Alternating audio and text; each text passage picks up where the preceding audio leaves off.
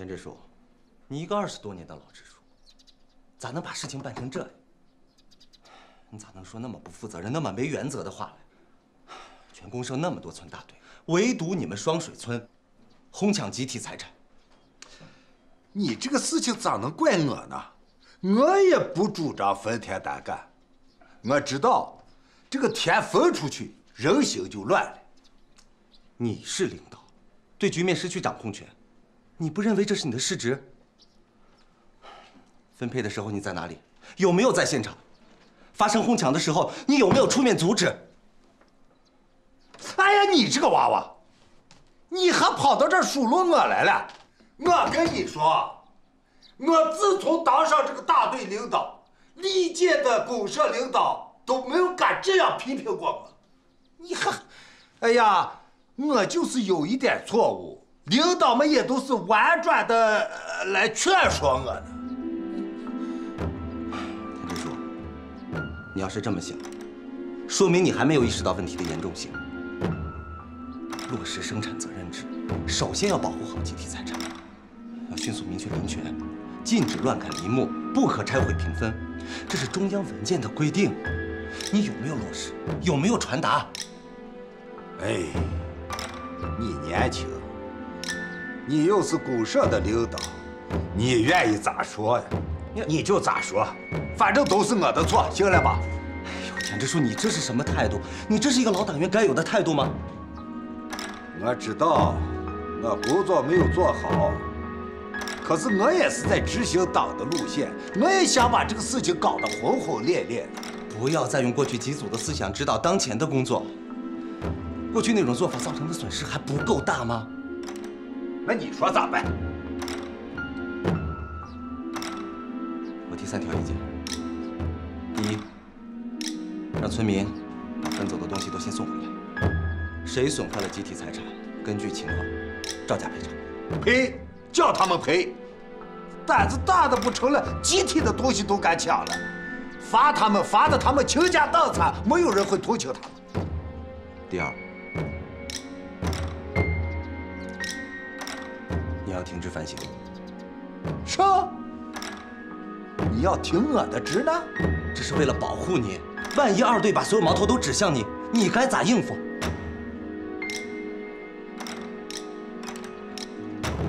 行，反正我也老了，也该歇歇了。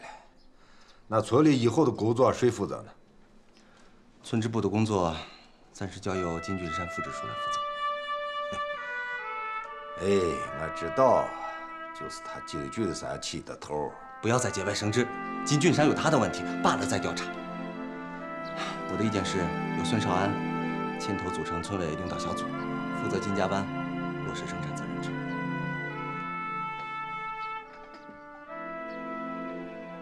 孙少安，怕死是吧？又来了是吗？啊！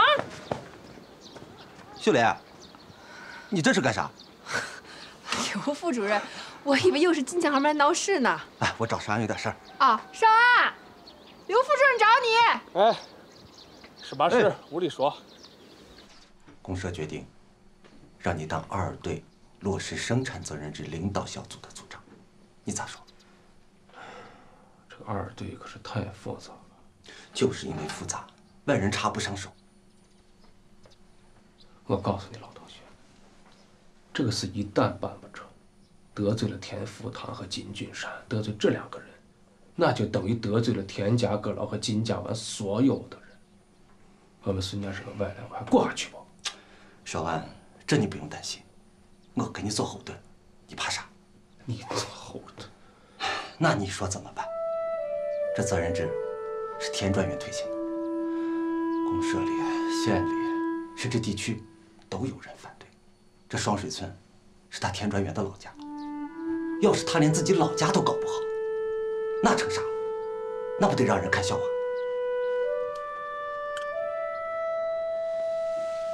二队的队长。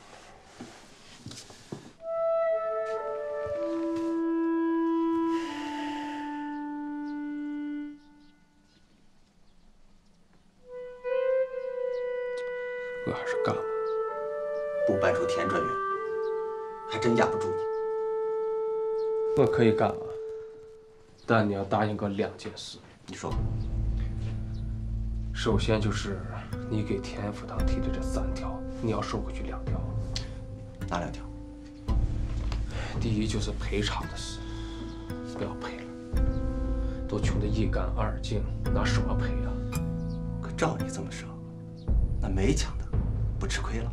那损坏东西的人可以少分还有啊，田福堂不要停止。这个金俊山表面上看着大大咧咧，其实心机很深。我看这次二队这个死，那就是他捣的鬼。可都说金俊山拼命阻止去米红家，开始为什么不阻止啊？这样，这边的情况你比我熟悉，你想咋干我都支持。那需要组成这个田海明，让他当村里的会计，他懂计算。然后就是田福高，也有经验啊。再就是金俊山，哎，田支书不同意金俊山，他必须参加。他要是不来，我知道他那个脑子每天在想什么。车员们请注意，车员们请注意。公社刘副主任的指示，庄水村组成二队落实生产责任制的领导小组，组长是孙少安，组员有五个人：田福堂、金俊山、金俊武、田海民、田福高。小组成员到大队部开会。该吃晚饭了，吃完晚饭再开会。你看把你给能的，名字都排在田福堂前面了，人家都不当这个组长了，你偏要当。我不让你干，你非得干。你说你凭啥呀？你是有三头六臂呀？那咋的？啊，金家娃闹成这个样子，我看着不管。你不要操心了哈，我已经答应了。人家田福堂都镇不住金家湾二队，你凭啥能镇得住啊？你没看见他们个个眼都红了？我是怕他们打你。你说你是这个家的顶梁柱，万一你要是有个三长两短，你叫我们咋活咋活嘛？哎呀，放心吧，那有什么事？不还有福高和海滨吗？再说了，我和金家娃的关系处的还是可以的，没有事。是。哪个王八羔子砸的？是人你就别做狗，是狗你就叫一声。哎哎哎，你嚷是吧？这不就是山上掉下来个土块块吗？哪个王八羔子砸的？你，你给我捡了块石头来！你给我出来！我他妈锤死你！出来！哎呀，少安行了，这广播里刚刚通知你当组长，现在就被人砸了。我都跟你说了，这金家湾的人他不服气。你说你在工地里当的好好的，你跑过来显啥能啊你？啊，我现在去一趟大队部啊，晚上就不要住在这趟了，回爸家和奶奶虎子挤一个炕。少安，你就放心干，有我和田支书给你撑腰。遇到啥重大问题，我再出面解决。呃，金家湾那边的社员对我有意见的，所以关于这个问题，我的原则就是少掺和、少说话，多支持少安。这感谢领导对我的信任，是这哈，军务。说是我负责，其实还是你负责哦。我给你当军师。哎呦，少安，幸亏你的及时出现，要不然这个金家湾真是有人要去坐牢蹲大狱呢。你就放手干吧，我和俊武啊都支持你。这下一步啊，怕子让你当支书，你怎么说，我怎么做。军武这话说的，副堂叔坐在这，他我当什么支书啊？哎呀，他也不能当一辈子支书嘛。哎呀，我还在这儿呢，你就装着看不见这个人，你就在讨论谁来做支书的位置呢？哎呀，副堂叔，你心放的稳稳的哈，我连个党员都不是，当什么支书啊？你是一队队长，照理早就该发展成党员。可你这小子太调皮了，领导不满意。哎呀，你有话就直说，不要拐弯抹角的。咱这个话说差了都，还是说讨论你这个二队生产责任制的事啊，军武。哎，你看，你们队搞的是包干到户，我们是包干到组。这个包干到户比包干到组更复杂也更细一些哈。你看是这样，带来的东西，腾一下，看行不行啊？这个木板啊，就代表土地，砖头就是牲畜。这个破布就是生产工具，反正集体财产就是这些个东西吧。啊，你看这个木板，一头好一头糟，跟土地是一样不好分。是这，咱把这个土地按照山川地坝、阳北远近分类分级，平均分下去。哦，这个砖头就是牲畜嘛，那砖头有好有坏，牲畜也是有好有次，那保不齐还有生病的嘞。是这，把这个牛马驴羊进行评估，搭配起来，按人老比例分下去。再说这个破布啊，就是生产工具。你像犁、鞍、耙、铁锨、木锨、木夹、钢磨、柴油机，那和这个破布是一样的。那衣服穿时间长了也不值钱了吧？这生产工具也是这。有新的，有旧的，还有半新的、半旧的，你说咋分嘛？这是这，按照新旧好坏作价卖给个人。那大家都要一样的这个工具，它不够咋办呢？那谁出的价高就给谁吧。哎呦，你看这少安就是脑子好用啊！哎，再说这个窑洞哈，公家的窑洞不能分，那是国家的财产，不敢动啊。那树木，像公路旁边那些树木也是集体财产，不能分，不能动。你像那个田边、水边栽种的那些树木，那就作价卖给个人嘛。哎，至于一九七一年那个作价归公私人栽种那个树木，那就还是归还个人。我觉得这样比较好。要是有损伤的，那酌情补钱。那这个我们队里这些领导的待遇你怎么说？我给你想过了，你像俊山叔队里这样的大领导，当然副堂叔也算啊，每个人多分五亩地，小队多分三亩地。你像开会呀，有公务不给报酬哈，反正我们队是这么干的啊。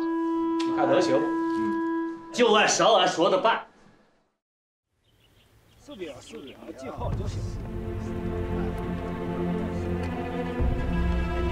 孙少安，啊，李强，孙少安，滚回你的田家阁楼。二队的事儿用不着你这个一队队长管。金强，你主张分，现在要分，你又来阻拦。我不是阻拦，我是不想让他孙少安来分。孙少安分，是公社跟大队的意见。那你这个二队队长是吃干饭的。二爸，你当年的精气神都哪儿去了？你让一个姓孙的娃。管咱金家湾的事，你这脸往哪儿搁？你在胡说！我一出赶快走！你赔！你现在除了我李横，还有什么本事？你敢打死我？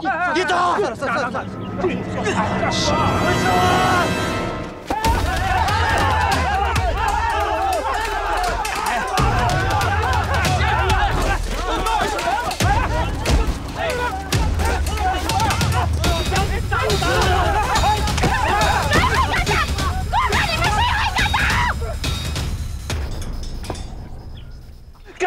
把枪给我弄走！进来，进来，走走走走走！哎呀，这流血了！哎呀，你跑过来干什么呀？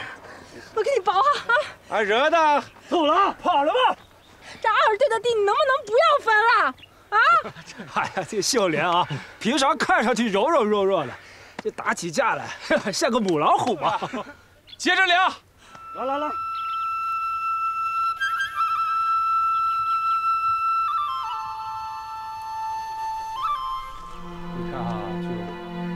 像阴面这些个地，这配是要多分一些。你像阳面那个地，要是分一亩的话，阴面这个地就要分一亩二分。我只想着分，可没想到还有这么多的道理呀。分地啊，你要想做到绝对公平是不可能的，只能是尽量公平。啊，那都是。少开，哎，你慢一点，咋了，叔？少开，啊？哎，不得了，出事！少开，是吧？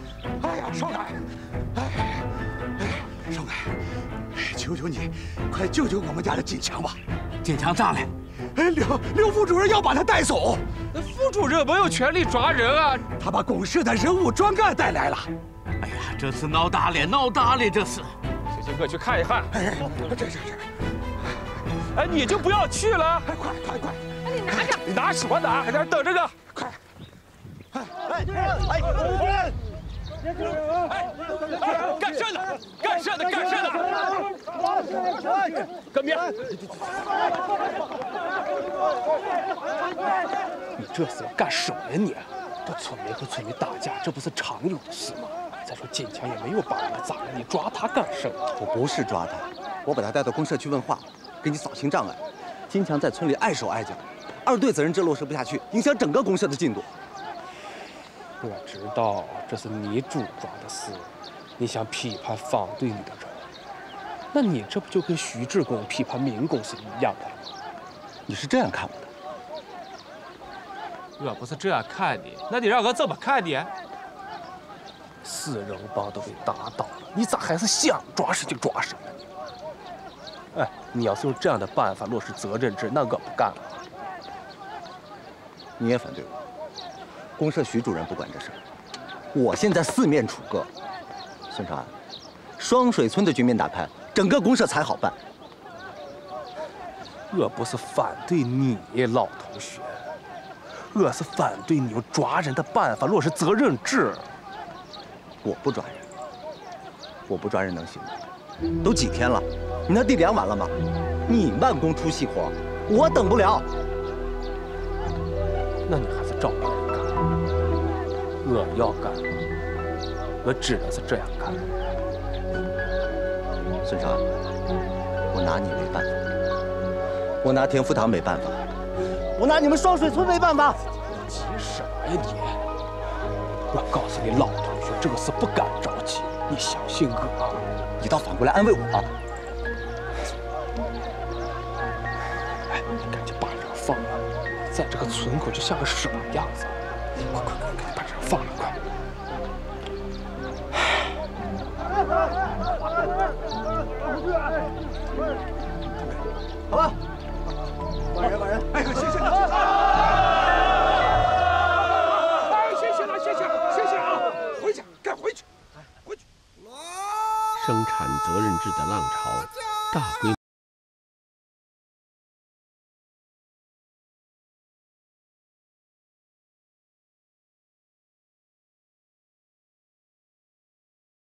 展了。毫无疑问，这是继土改和合作化以后，中国近代历史上农村所经历的又一次巨大变革，而它的深远意义，目前还不能全部去估价。生产责任制一落实呀，这马上就面貌一新呐。是，咱双水村的好日子到了，我得要请你一顿酒啊！咱俩得好好喝一大碗。我这酒给我留着哈，我还要回原西工地上把那个活干完的啊！那不行，我一天都不能等。你要是走了，你都不是我兄弟。什么兄弟？论辈分，我叫你叔。哎呀，什么叔啊，侄的！你要今天晚上敢走，我打断你的腿。啊！我买酒去。哎呀，你这叫什么人啊？不让人赚钱。哎，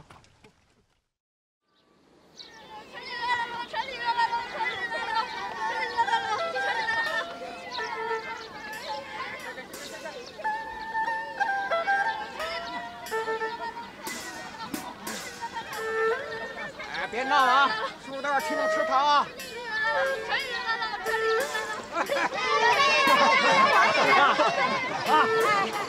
二叔，金富，你叫我啥？叫二叔。嗨，这城里人啊，都管二爸叫二叔。二叔就是二爸。来，二叔，来抽根烟。哎，爸，来。好好好。哎，你拿着，你拿着。好好。你最近到哪儿去了？啊，我我我，呃，全国各地到处跑啊，北京、上海、天津我都去过了。哎哎，你你还去过北京啊？啊，去过。那那你一定见过天安门啊？啊，天安门啊，呃，就在大马路的边上，抬抬眼皮就看见了。哎呀，没啥稀奇的，就跟报纸上登的一个样。哎呦，军父，这表在哪买的？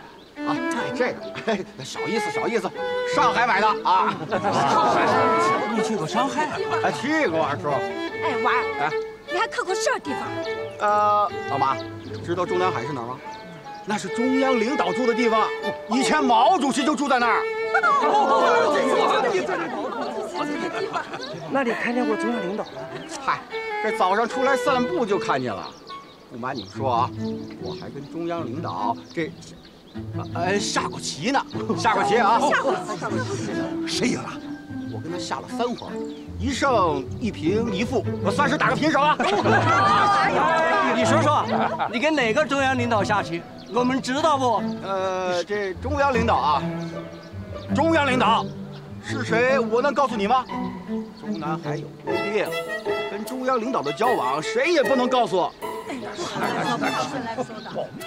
结果，哎，坐过火车没有？火车算个球啊！我还在天上撒过尿呢。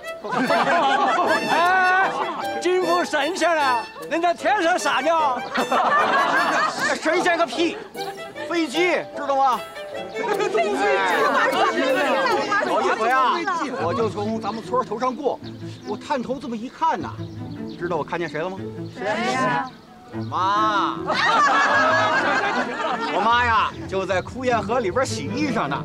哎，还有田外有我大叔赶着一大群羊啊，从田家沟了那坡上往下走。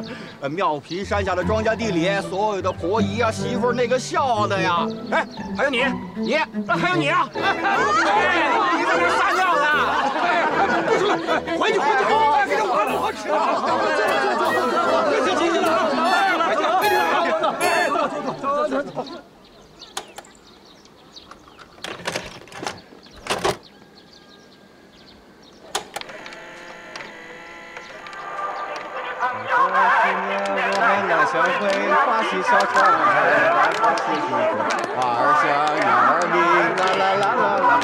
是我们八十年代的新年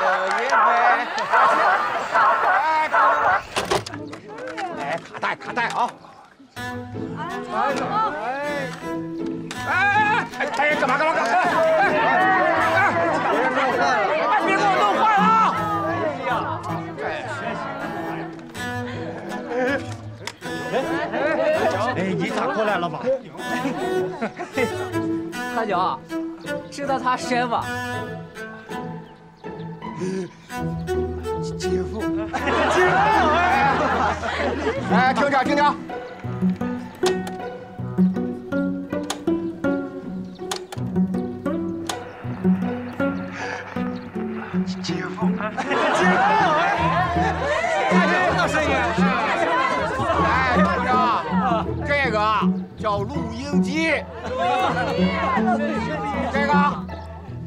相机啊！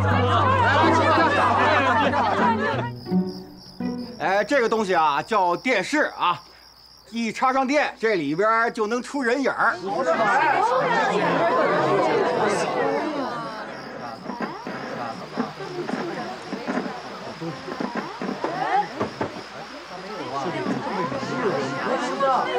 这是个社啊？啊，这这是社哦，呃，这是接收信号的天线。哎，山里边信号不好，哎，这城里边啊放的可清楚了。哦。哎哎，有了有了有了！哎，前面的房子呀，都好好看，别喊叫了。哎，回去坐下坐坐下，好好看吧。姐夫，你说这外面满地都是金子，随便捡，外面钱真有那么好挣？哎，那当然了。哎哎，你们看看我啊，这出去不到半年，发了。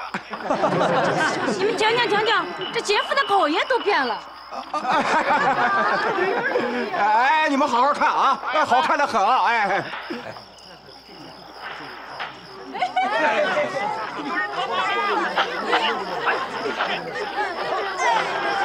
这家伙这次来了，学了这钱的东西，衣裳、手表、不要紧，可大家都不知道一些小玩意儿。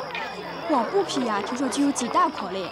至于钱儿，有人看见他随手从口袋一掏，就一大把嘞。在大地方赚钱呀，就是一件很容易的事情嘞。事实难得很啊！按照去年呀，东亚河边的庄稼人，谁敢把自己家的女子去介绍给金主人家的儿子？你看看现在，该那些人就像爬黄金一样，大家都想把自己家的女子去嫁给他们家金富。谁说的呀？金家人现在光景一下变好了，说不定呀，就是挪了宅子的原因了。哎，现在看来，咱双水村真正的风水宝地，就他们家现在住的这个地方。哎呦，然而真是没有长前后眼。哎，就是就是就是。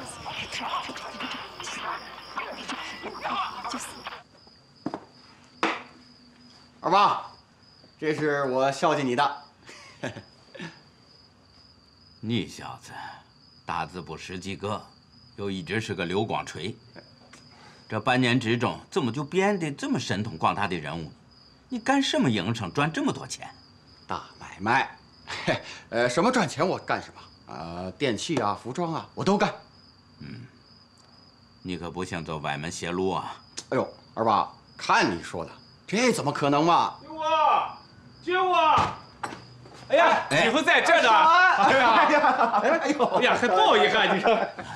这衣服穿的好看啊！哎，这是最流行的。啊，你胖了，哎，是吗？哎呦，忙的没有时间剪头发。哎呀，新潮新潮。哦，对，少安，来，这是送你的礼物，谢谢你帮了我弟金强的大忙，我谢谢你啊。哎呀，你看，哥带礼物了，你看。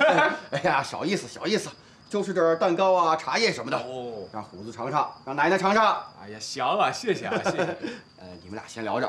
我还得回去招呼一下，都在看电视呢。啊，这新电视啊，怕他们弄坏了。啊，我走了。哎，嗯嗯。哎，真的，你看人都卖电视了，这出去真是长能耐了。长什么能耐嘛？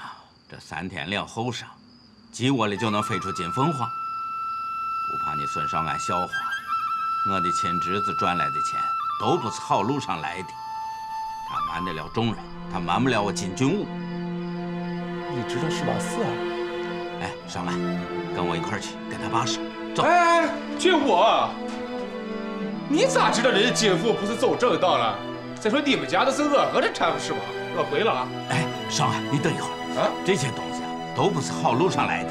我明白。这是给虎子和奶奶带的蛋糕。我明白，但不能吃这玩意儿，都不是好路上来的。我拿一盒，我就拿一盒。不不不不不，一盒也不行，这不能吃这玩意儿。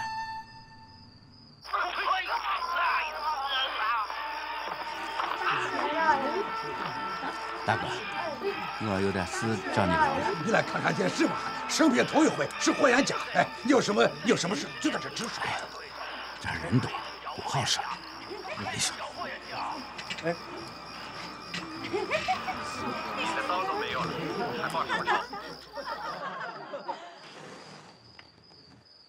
你怎么把金富送给你和上干的东西退回来？自家的娃娃，自家知道。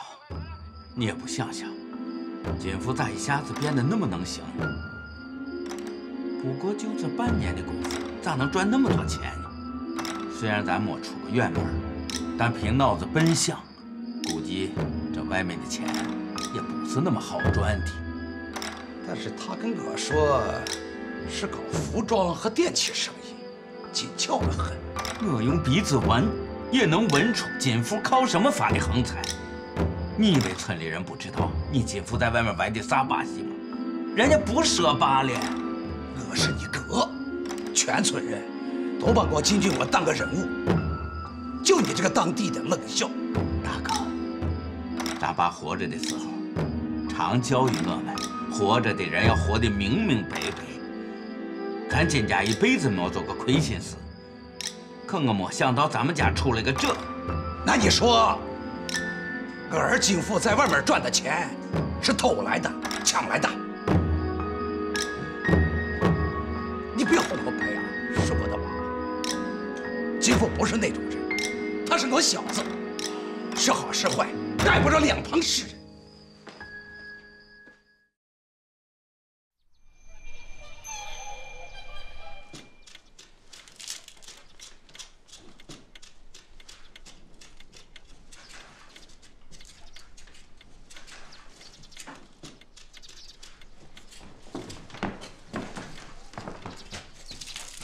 瑞爷，啊，二爸来了，哟，丽丽来了。田叔叔，哎，咋不让慧良一块儿来玩呢？他本来想来的，可是他爸不让来。为啥？慧良本来想一起来转一转，他爸说是他们帮我调了团地委，你现在当完专员了，如果慧良老往这儿跑，怕别人说闲话呢。哎呀，想不到我打了这个官，给你们带来了这么多麻烦啊！丽丽，哎，你回去跟慧良说，让他一块来玩啊！你跟你老公公说，你放心，我不会给他儿子任何好处的。哎，好嘞。瑞英，啊，呃，过两天我得去趟原西，把家搬过来。你也得像过去一样住在家里，不能像老一样打游击啊！那我回去帮忙不？不用，小霞、你二妈还有向前都在，人手够了。反正回原西想帮你的人多得很嘛。哎呀，我就是不想让原西这些人知道，要不然迎来送往的，这搞得多排场呢。还以为我显摆我自己当官，不好，这样不好。当灿烂的太阳跳。小霞，啊，你今天复习的怎么样？能不能考上？考不上，明年可没机会了。我今年肯定能考上。就是。小霞呀，你可真能干呐！爸妈没回来之前，你已经已经收拾差不多了。哎呀，我一个人哪干得了这么多活啊？得多亏了向前姐夫。哎，向前咋没来呢？他躲出去了，出车走了。润叶走了，咱们这个家也该彻底关了。我能理解他那种复杂的心情。福军儿，田军，田军，爸，哎，福军儿，福军儿，军儿，嘿，你们怎么知道我回来了？哎呀，你车一进园区啊，我们就知道了。对，都在招待所等你了啊，房子和饭都安排好了，你倒好，回家了。我是回来搬家的，干嘛要在招待所安排房子和饭？哦，你们说，我回来是应该先看你们，还是先看我闺女啊？当然是看我了，你要再不来看我，就不认你了。哎，周文龙，你从省委党校毕业回来了？啊？我去省委党校学习，还是田书记您批准的，学了一年，已经回来一个多月了。那 你回来怎么不跟我说一声啊？您太忙，我没敢打搅您。田主任，我还是习惯叫您田主任。过去我实在对不住你，我知道这种道歉太肤浅了。过去我在迷途中走得太远了。年轻人啊，走点弯路，没什么，啊，只要你反省了，说明你已经成熟了啊，放下包袱，过去的事情就过去了。你们啊，才是这个国家未来建设的主力。说句老实话，像我们这些人，都是为了你们将来大展宏图做铺垫的。坐着说话。小霞弄点水去啊！行行行行，哎，行行行，你看我们家乱糟糟的，不用了不用了。哎，那个福军啊，你这当了专员一年多啊，没回来原西县一次，这回当了书记，回来也不通知一声。是啊，总得给我们一个表现的机会嘛。对，咱们都是老同事了，干嘛搞得那么客气啊？哎，以后有时间我会回原西县好好住一段时间，咱们好好聊聊，好吧？好好。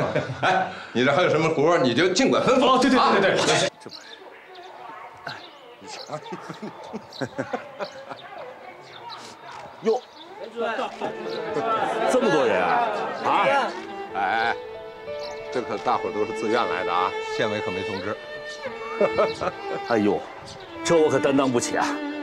以前啊，在延西县也有留党高升的，可从来没出现过这种情况。这是干部群众啊，对你工作的肯定啊！谢谢谢谢谢谢，好，来来，福军，来，给田主任让一下，来，福军，好好好好好好好，别别别，田主任慢走，好好好，好，哎，上车吧。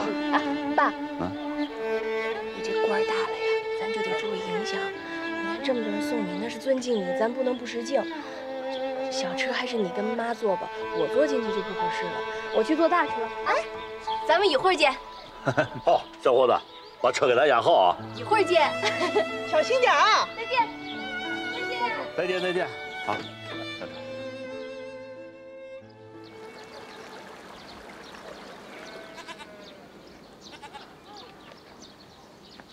润生啊，啊说，哦，你咋又想瑞生呢？哎，小半年了，也不给家里来封信。他给你写信了没有？也没有。哎呀，这南方在打仗呢，他是不是上战场了？上战场了？听说各部队都轮流上战场了。我知道有纪律，不让给家里人说上战场的事情。说，我也不知道他是不是上战场了。少平，润生跟你是最好的伙伴，有些话他不跟我说，他跟你说了。说，我是真不知道，我知道了肯定告诉你。我想他大概是上战场了。上战场报效国家是好事情，一想到是我自己的儿子，就是我这个经历了几十年革命岁月的老革命，心里也难过了。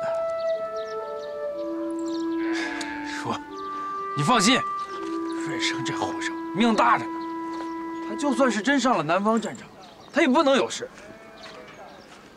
哎他要是牺牲了，政府会通知我们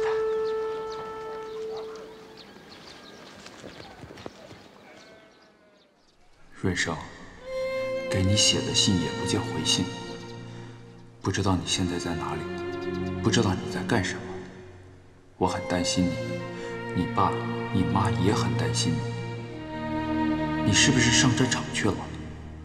无论如何，你该给家里报个平安。我跟你讲，村里实行了农业生产责任制，家家户户都充满了劳动的热情。你们家的责任田由我帮着你爸你妈一起种，你放心。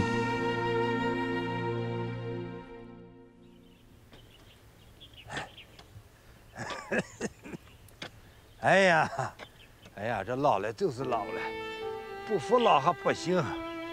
刚挖了几下，子就喘的不行。哎呀，哎，多少年你都不下地了，还不如我呢。哎呀，你就能的不行。哎，叔，婶儿。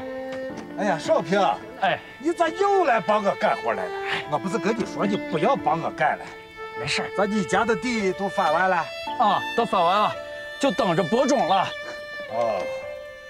呃，说是到了惊蛰节，锄头不停歇。你看我家的地才翻了一半，这怕是要误节气呀。叔，不担心，这晚播有晚播的好处，晚播几天啊，天气更暖，更有益于庄稼的生长。哎，那都说宜早不宜晚，哎，那也得看天气。这今年这个天气啊，就比往年要冷，这晚播就更好。哎，我家里我爸就是听了我建议。这还没播种呢。哎呀，你爸是老庄稼把式了，他能听你的。说啊，这种地这事情啊，不光要讲究经验，还得讲究科学嘛。你娃的科学是从哪里来的？哎，我在报纸上看的，这个《黄原日报》上就专门有一篇是讲如何科学的种地。我现在不当老师了，这报纸啊也看不到了。哎。那你可以到大队部去，大队部的报纸都叫他们拿起胡枪来。那可惜了，哎，哎，少平，有没有热搜的消息？又想润生了？哎，我前两天刚给润生写过信，这说不定过两天就能有回信了。你娃净安慰我们。过两天，过两天，你说了多少过两天？不堂支书，不堂支书，在你这都干啥呀？大哥？我们都过来帮你家翻地的嘛。啊啊！谢谢谢谢。哎，大家由西往东翻啊！小马进，开始。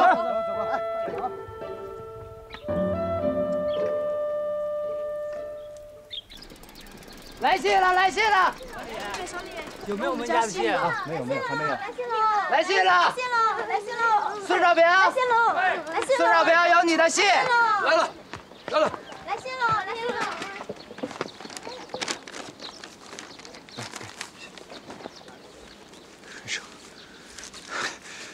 瑞生来的信，谢谢，谢谢有点，谢谢。